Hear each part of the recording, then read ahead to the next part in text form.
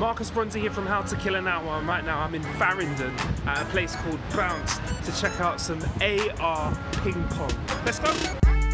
So, Bounce say they are the first in the world to do this, and here's how it works there's a big projector above the table that combines ball tracking technology and the latest in laser projection mapping to make a ping pong table that is interactive.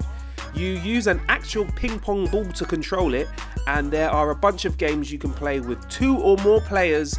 For some, you need a little bit of skill, and for some, you don't even need a bat at all.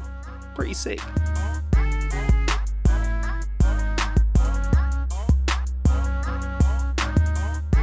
So that was Wonderball at Bounce.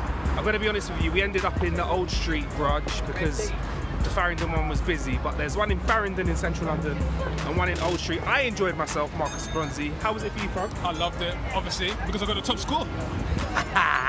Make sure you check out more ways to kill time by going to howtokillanhour.com and also click subscribe and like on this video and you'll be able to find out all the different ways that we like to kill time. Peace! Peace.